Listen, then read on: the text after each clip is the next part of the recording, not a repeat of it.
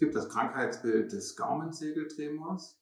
Das ist letztlich auch wieder ein Muskelzucken des Gaumensegels und da das, die Muskulatur des Gaumensegels für die Tubenöffnung zuständig ist, also für die Öffnung dieses Verbindungswegs zwischen Nase und Ohr, kann das zu klackenden, knackenden, klickenden Geräuschen im Ohr führen. Also jeder hat so ein bisschen seine eigene Nomenklatur dafür. Und äh, dieser Gaumensegeltremor, der tritt typischerweise auch spontan auf, auch unabhängig vom Schlucken. Und den kann man sehr leicht äh, selbst diagnostizieren, als Patient auch. Das heißt, Sie gucken in den Spiegel, machen den Mund auf und wenn Sie hinten Ihr Zäpfchen, sozusagen Ihr Gaumensegel rauf und runter gehen sehen und dabei macht es gleichzeitig Klick in Ihrem Ohr, dann wissen Sie, dass Sie einen Gaumensegeltremor haben.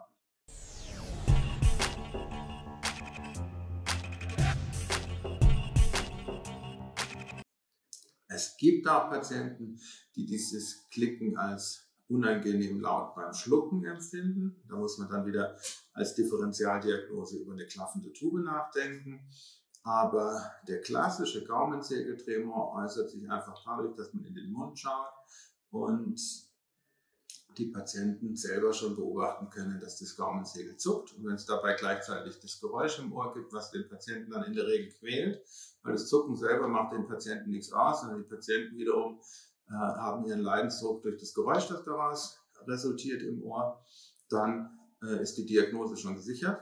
Heißt, dank meiner Videos, die ich auf meiner Homepage habe und dem Text, kommen die Patienten häufig schon und haben das an sich selbst diagnostiziert.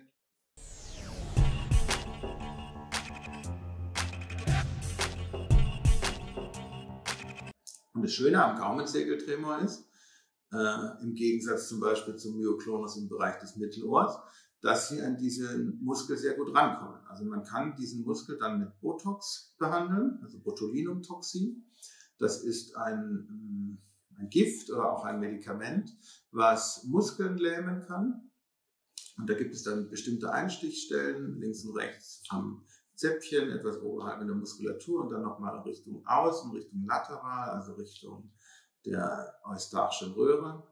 Und wenn Sie da eine gewisse Menge äh, Botulinumtoxin einspritzen, dann wird diese Muskulatur geschwächt. Und wenn Sie richtig viel Botox einspritzen, dann wird die auch gelähmt. Dummerweise äh, brauchen wir das Gaumensegel natürlich auch. Und wenn wir da zu viel einspritzen, kriegen die Patienten Schluckbeschwerden, eine näselnde Sprache, äh, können im schlimmsten Fall den Speichel nicht wegschlucken. Also wir können das Gaumensegel, sage ich mal, mit Botox nicht so platt machen, wie wir das zum Beispiel im ästhetischen Bereich kennt, dass jemand, sage ich mal, seine Falten an der Stirn wegspritzen lässt. Das resultiert dann zwar darin, dass er keine Mimik mehr hat im schlimmsten Fall, also dass quasi die Stirn sich nicht mehr bewegt beim Sprechen, aber dann ist das nicht gefährlich. Aber das Gaumensegel können wir nicht so äh, platt machen. Das heißt, wir müssen eine Dosierung finden, die zum einen diese übertriebene Tubenöffnung reduziert und zum anderen die Funktion gewährleistet. Das machen wir, indem wir uns daran tasten. Und das Problem im Botox ist, dass das Botox nicht sofort wirkt, sondern dass das mindestens zwei Tage dauert, bis die erste Wirkung vorhanden ist und bis zu 14 Tage dauern kann, bis die Maximalwirkung da ist. In der Regel sagen die Patienten, nach zwei bis drei Tagen ist schon die Wirkung und auch die Nebenwirkung da. Und dann muss man sich erstmal anschauen, wie viele Nebenwirkungen haben die, wie gut wirkt und spritzt sich gegebenenfalls nach nochmal einer Woche oder zwei Wochen nochmal was nach und um die Wirkung zu verstärken.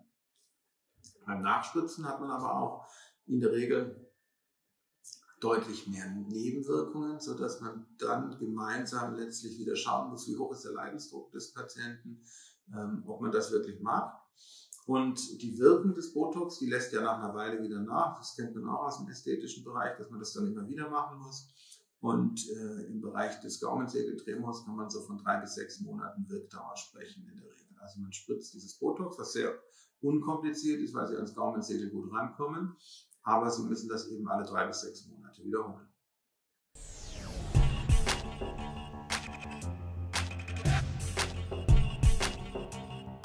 Es kann sein, dass die Nebenwirkungen nicht in einem gesunden Verhältnis zum Wirkungsgrad sind. Also, dass ich zum Beispiel so stark das Gaumensegel durch das Botox lähmen muss, dass der Patient eigentlich mehr Nebenwirkungen hat, als äh, ihn das Klicken im Ohr beim Schlucken oder das spontane Klicken im Ohr stört. Und, äh, dann kann man die Therapie nicht durchführen. Also, ich sage ich mal, ich trigger mich an diese ähm, Grenze heran, spritze meine, sag ich mal, maximal 20 Botox-Einheiten, wenn es beidseitig vorliegt, ein. Patient klagt ein paar Tage über Schluckbeschwerden, das Ohrgeräusch, das Klicken im Ohr wird deutlich weniger. Er sagt, das ist für mich gut, dann habe ich einen Patienten, der gut auf Botox anspricht. Und dann kann es aber sein, dass ich einen Patienten habe, der massive Schluckbeschwerden hat und sagt, aber das Klicken im Ohr ist immer noch vorhanden. Oder äh, wir geben eine zweite Dosis und dann kann, habe ich auch schon erlebt, dass jemand drei, vier, fünf Wochen lang Schluckbeschwerden hatte. Und äh, dann ist es vielleicht unverhältnismäßig, so viele Schluckbeschwerden äh, in Kauf zu nehmen, um das Klicken im Ohr loszuwerden. Oder im schlimmsten Fall ist, er hat nur Nebenwirkungen und es reduziert das Klicken nicht signifikant im Ohr, kann auch passieren. Und wenn also die Nebenwirkungen nicht im gesunden Verhältnis zum Wirkungsgrad stehen, dann ist die nächste Alternative, dass man letztlich das Ganze therapiert wie eine klaffende Tube, weil häufig steckt ein bisschen klaffende Tube mit dahinter. Wenn die Tube schon sehr weit ist und dann die Muskelzuckung kommt und die Tube weiter öffnet, dann kommt es eigentlich erst zu diesen starken Beeinträchtigungen. Also wenn jetzt zum Beispiel jemand eine Tubenbelüftungsstörung hat, wo die Tube eher zu sehr zu ist und dann zuckt es im Gaumensegelbereich, dann merkt er das im Ohr gar nicht. Und er merkt es eigentlich immer nur dann, wenn die Tube eh schon weit offen ist. Und da gäbe es eben die Möglichkeit, dass man die Tube okkludiert, also dass man die wie bei der klaffenden Tube verengt. Und dann hört natürlich diese Übertragung der Muskelzuckung ins Ohr auch auf. Deswegen ist das manchmal eine Option, dass man sagt, statt Botox macht man die Tube zu und damit verliert der Patient auch seine störenden Geräusche im Ohr.